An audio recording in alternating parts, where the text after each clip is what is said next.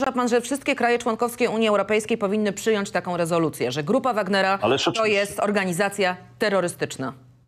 Ależ oczywiście, że tak. I e, ze wszystkimi konsekwencjami z tego wynikającymi. Polska ostatnio jest na takim celowniku rosyjskim.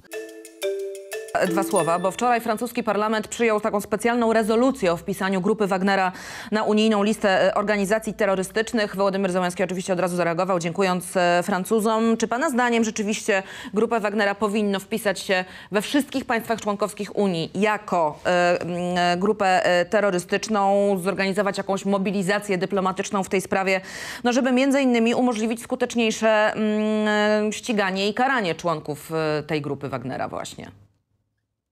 Ja się dziwię, że to tak późno nastąpiło, bo e, my widzimy, co robią e, ludzie z tej grupy w, e, w, w czasie wojny w Ukrainie, ale e, oni mają bardzo czarną kartę syryjską, e, gdzie tam e, no, e, mordowali cywili, nie liczyli się z nikim i, i e, nie stosowali żadnych e, praw, które obowiązują na wojnie, nawet, nawet takiej mniej cywilizowanej. Więc, e, więc dla mnie to jest e, e, bardzo dobre, bardzo dobre działanie, ale zdecydowanie za późno, bo już po tym, co pokazali w Syrii, powinni być na takiej liście w każdym kraju cywilizowanym. Czyli dla porządku zapytam pana raz jeszcze. Uważa pan, że wszystkie kraje członkowskie Unii Europejskiej powinny przyjąć taką rezolucję, że Grupa Wagnera to jest organizacja terrorystyczna?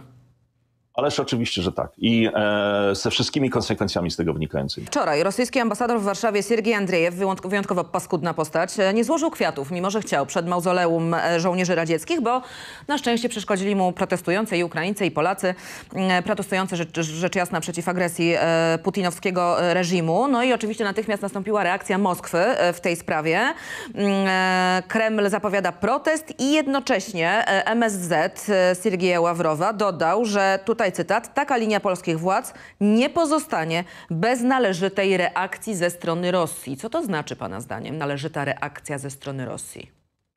No, Rosjanie już tych słów e, o podobnym brzmieniu wypowiedzieli kilkanaście, a może kilkadziesiąt razy. Ciągle straszą. e, A to Polskę.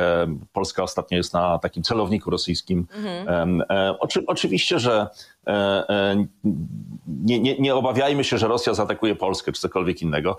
Możemy się obawiać różnego rodzaju prowokacji e, e, w różnych miejscach. Em, Możemy się obawiać działań w takim obszarze cyberprzestrzeni. Te, te wszystkie rzeczy mogą nastąpić, ale no, no dlatego, dlatego też powinniśmy, nasze służby powinny mieć taką wzmożoną czujność, ale ja bym się tutaj tym nie przejmował. Myślę, że Rosja już dzisiaj jest takim trochę psem bezzemnym, który szczeka tylko i i już nawet nie coraz głośniej, tylko coraz ciszej.